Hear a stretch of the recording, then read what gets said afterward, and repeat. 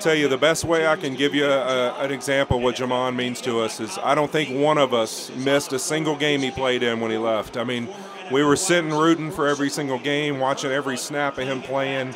Uh, we couldn't be more excited for him to have that opportunity. Jamon's a tremendous kid, a kid I had an opportunity to mentor, and uh, I couldn't love him more.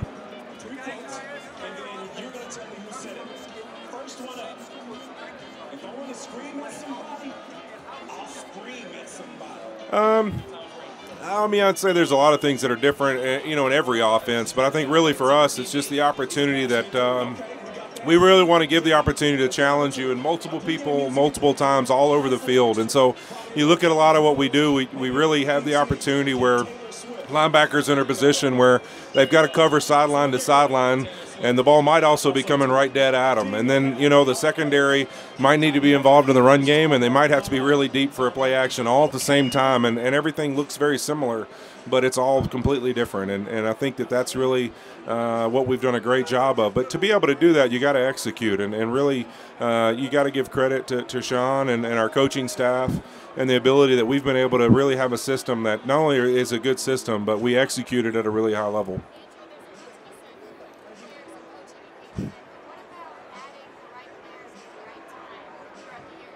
Oh, there's no question. I mean, you look at the pieces we have. We were talking about this the other day as an offense. I mean, you look at the receivers and, and the job they do from understanding what we need to do, blocking, pass, you know, when they're running routes, whatever. Um, they just they, their ability to understand uh, concepts and run game and pass game and everything else.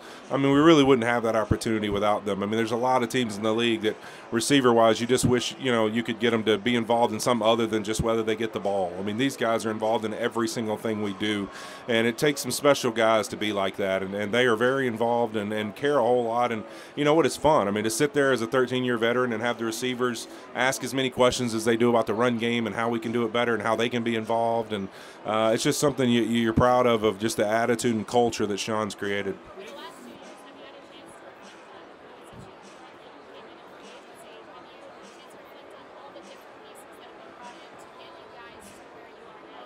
Oh yeah, I mean, I think that uh, you know what? You're, you're only as good as your weakest link, and we've continued to add pieces that have uh, worked out, and, and it's about creating a culture that I think Sean does so well um, where everyone feels they're they're important. Everyone feels that they're there for a reason, and he is a tremendous motivator in that way. It's he's he's not a talker in the sense of motivating. He's an educator, and he teaches you, you know, why your job's so important, why you need to do your job every play, and and uh, his ability to teach and educate is is uh, extremely rare, and, and and you can see it when you see young guys the way we've had over these first two years that have been able to play at skill positions and play really well.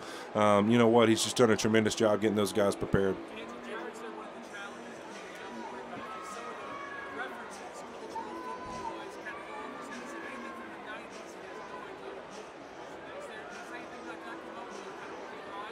Uh, there's been a lot of green moments with Jared. Uh, you know what? He's a tremendous kid, and uh, you know he's a question asker. I mean, that's what that's his deal. You know, you look at there's a lot of things about how what people how people are wired.